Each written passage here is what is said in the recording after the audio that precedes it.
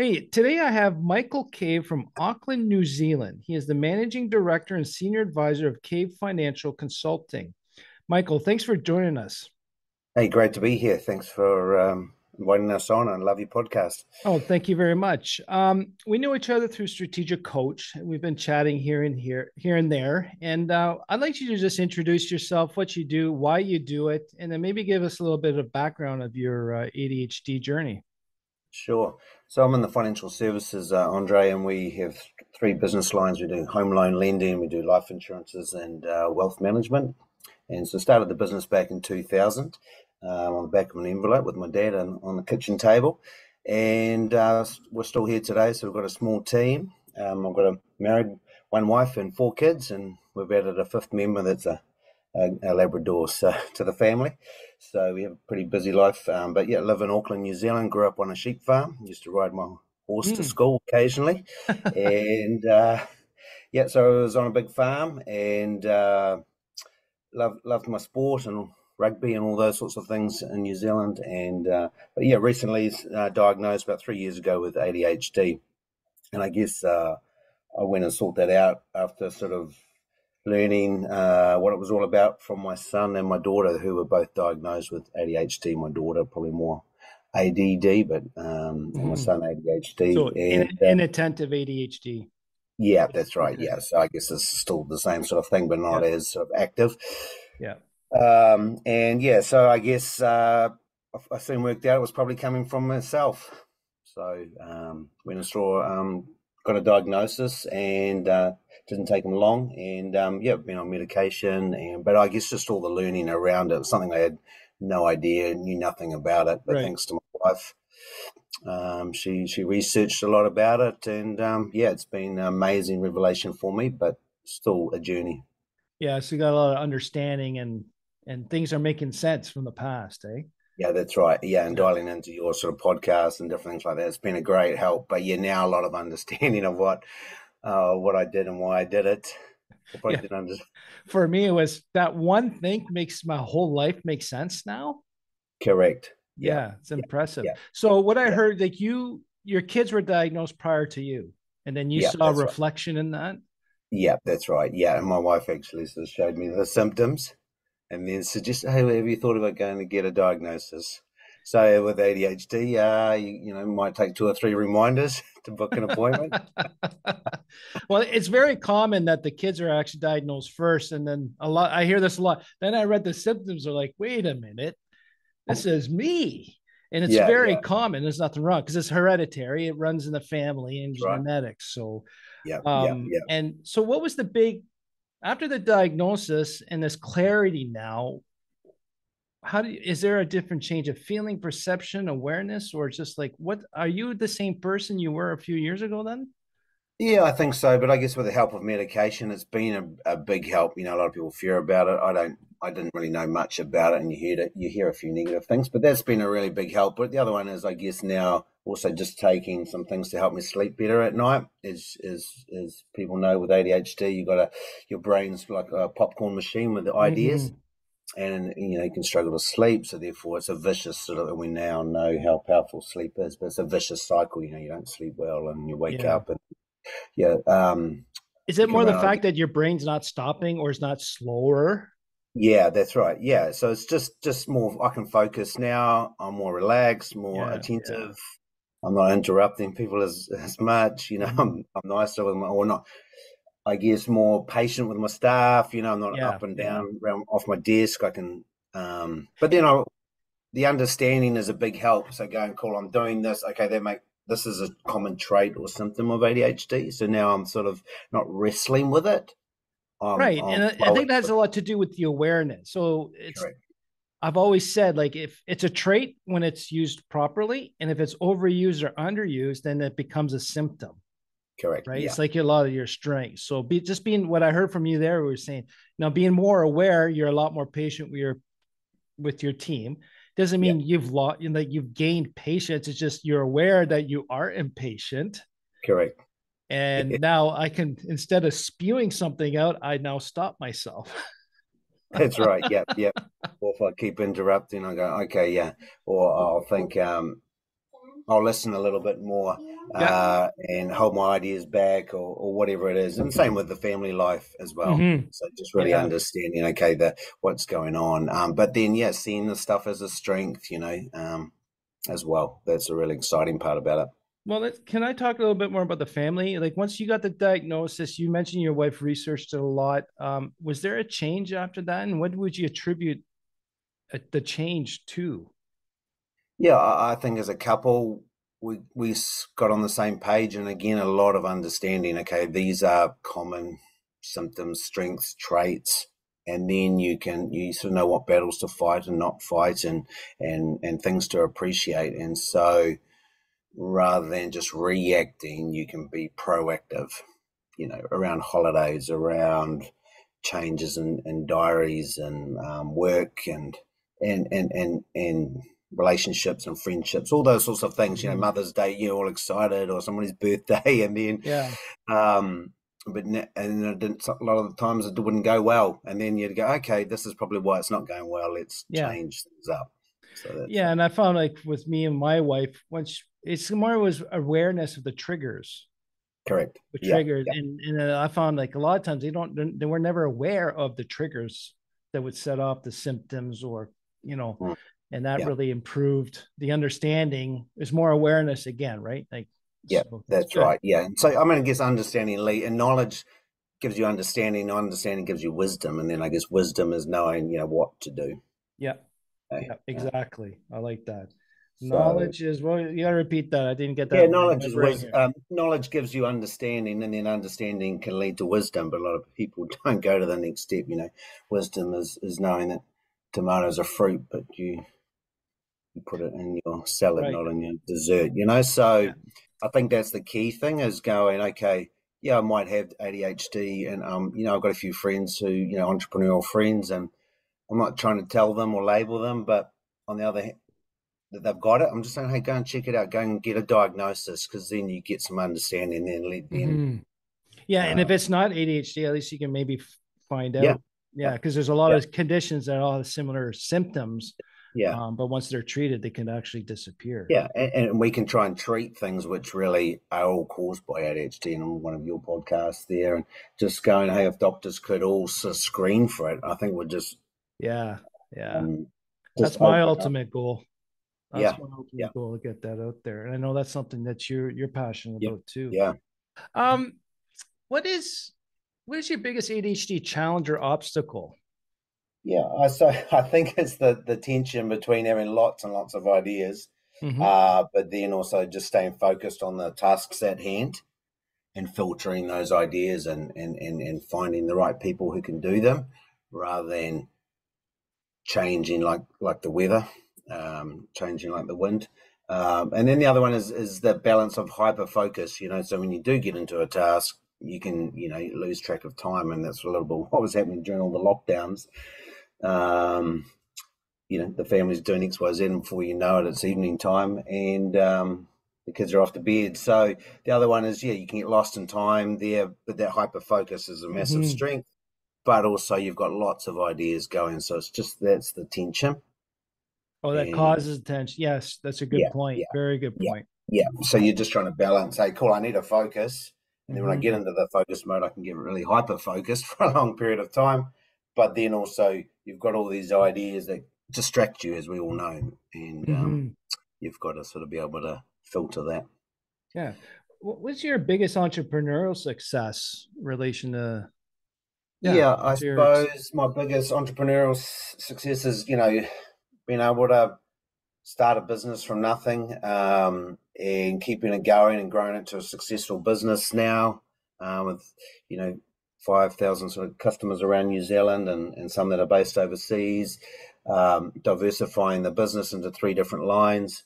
Um, yeah, making a big financial impact and difference in people's lives, but as well as uh, balancing family life and marriage and being a dad and all those sorts of things and and and been involved in the community so that's been um, i guess the biggest success is being able to hold those things uh, mm-hmm. together juggle those things i guess it is and i'm hearing actually you just use the word impact um, and i've been you just triggered something on me. Well, in a good way, just connected a few dots.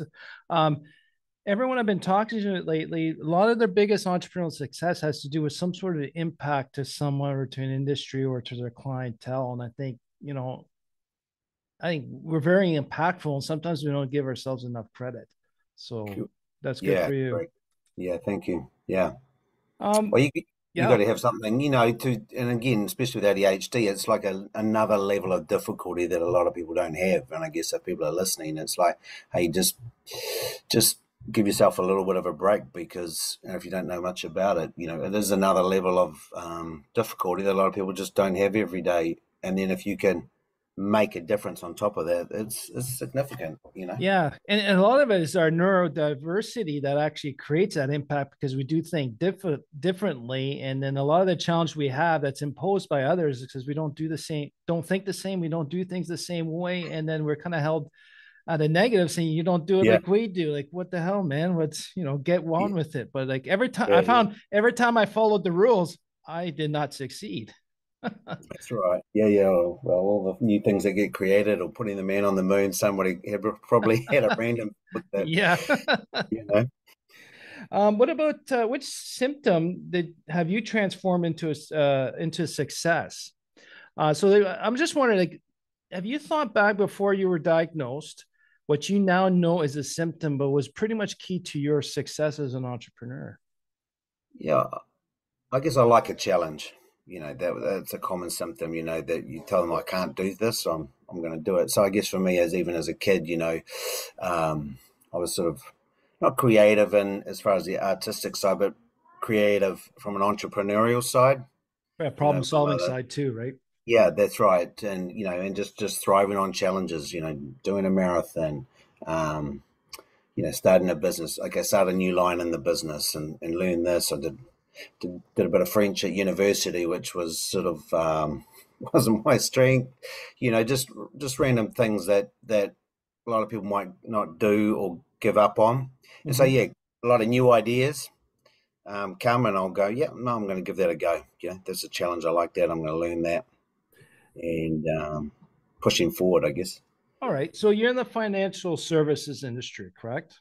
Yeah. Okay. Yeah. So what do you think you say you like new novel challenges. What do you what did you do differently in your industry that made you different or attract like but you got five thousand clients? That's quite a that's quite a lot for a small company like your size. Yeah, yeah. I, I, guess um, you know, we had different advisors who are leaving the industry and and um, so I thought, well, here's a challenge. I'll I'll I'll take over their their customers and we'll help them and and I guess we've always tried to put the customers at the center. And I guess it's more common practice, but right from the get go, I saw the opportunity. I just love working with people. And, and as their lives change, I guess there's a new challenge. How can I help them?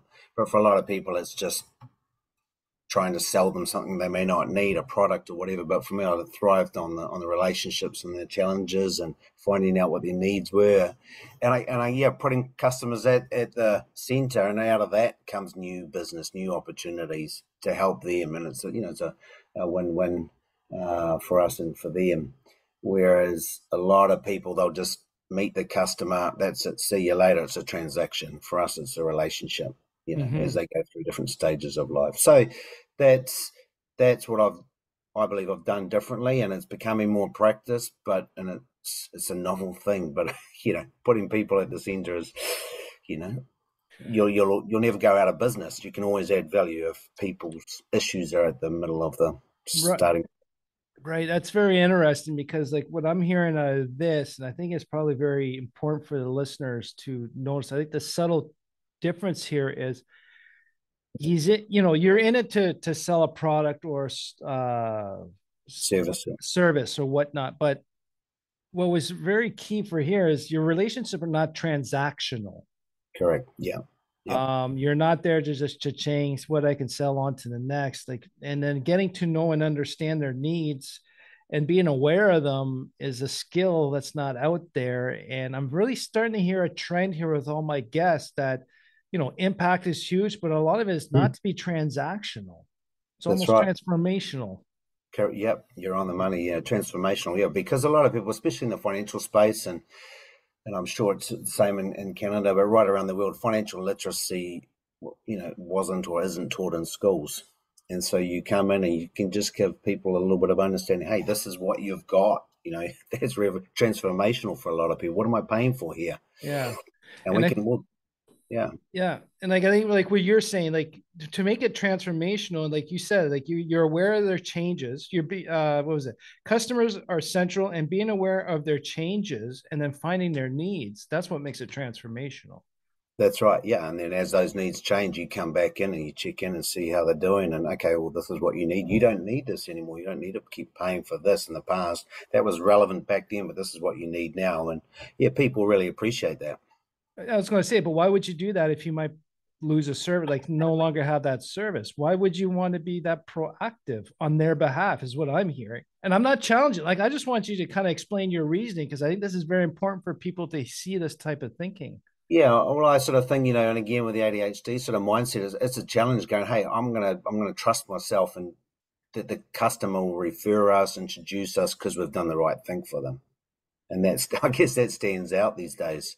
Hey, this person told me I don't need this, um, or here's three or four ideas that'll help you. Just mm-hmm. go away and do that yourself, um, and so that that can really is a game changer for them, and they'll come back and ask you know, for our help in, in six months or 12 months time. So I guess I've just trusted that doing the right thing is, is, is, in, is novel and that that will bring success in the future. That could be our marketing tool.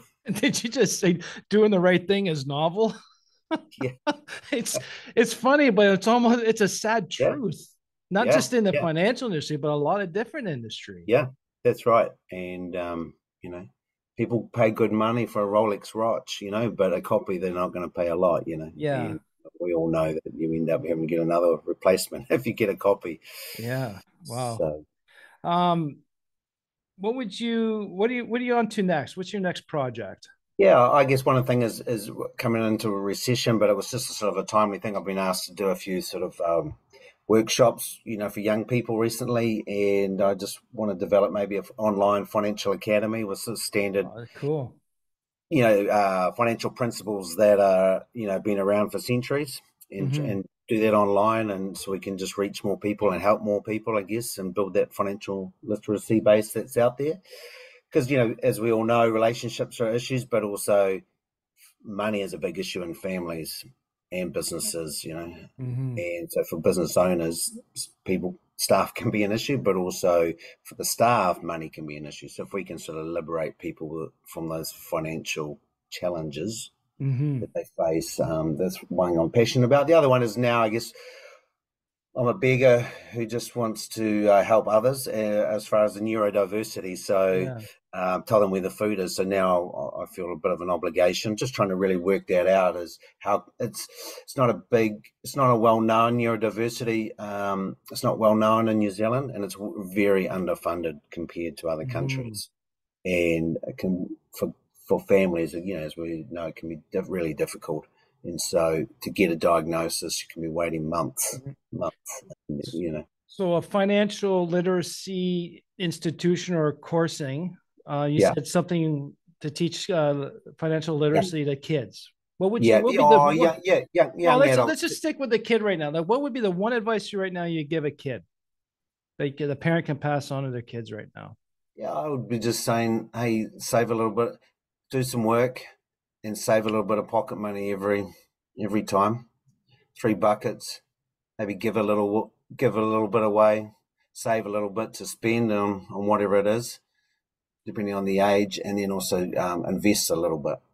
Mm-hmm. So you know, in five or ten years' time, that five dollars will become you know five hundred, and a little bit of money every every every week or month put aside, you know, will will compound and yeah, a little bit will add up in a hurry.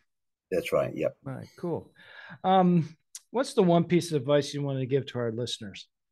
Yeah, I think if you if you know someone or you feel you've got symptoms around neurodiversity or ADHD, I'd say, you know, seek out some advice or, you know, professional opinion. You don't have to go all the way down the track, but you can get some understanding, which then gives you some, well, you get some knowledge and get some understanding, which then you can sort of um, get some wisdom about how to manage your mm-hmm. life and, and, and have a you know much more enjoyable life, I guess, rather than struggling.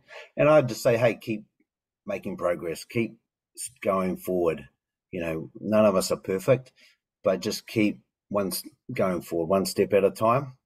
Um, constant motion. Have, yeah, constant motion. Keep progressing. You might go back a couple, but just get up and go again. And yes, seek just get good groups of people around you to support you and and encourage you, and you know, don't do it alone. That's um, good. That's really good words of advice. Um, there's a few other things that um, Michael did say today that makes a lot of sense to me.